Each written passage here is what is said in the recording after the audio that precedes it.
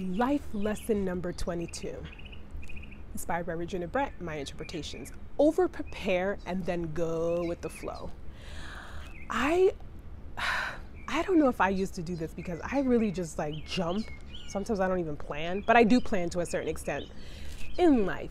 It's okay to over prepare and think about your lists and every and you know and your ABC and your um, you know your A plan, your B plan, whatever plan and but then when the time comes, just go with the flow because I guarantee you that it's gonna go out of the, it's just gonna go out.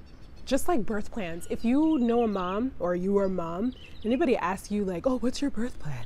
And then come the day you're like, forget the birth plan, get this baby out.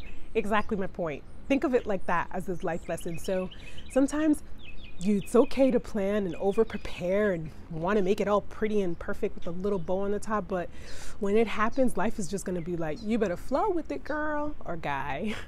Ya tú sabes.